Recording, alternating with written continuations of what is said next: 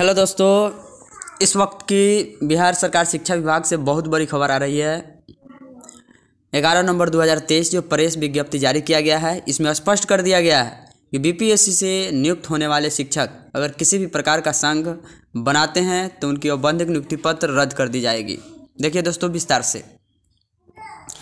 सर्वसरा, सर्वसाधारण अवगत है कि शिक्षा विभाग द्वारा बिहार लोक सेवा आयोग के माध्यम से हाल ही में एक लाख बीस हज़ार विद्यालय अध्यापकों का चयन किया गया है। इन विद्यालय अध्यापकों को अभी कुछ दिन पूर्व दो नवंबर दो हज़ार ग्यारह को औपबंधिक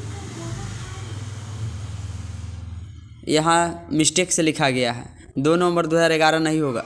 दो नवंबर 2023 होगा, लेकिन इसमें मिसप्रिंट है। 2011 लिख दिया गया है। 2000 कब ख़त्म हो गया? ग्यारह। को बंधक नियुक्ति पत्र दिया गया है। अभी इनका विद्यालय पदस्थापन नहीं हो पाया। अतः इन्होंने अभी तक एक भी कक्षा में अध्यापन का कार्य प्रारंभ नहीं किया है।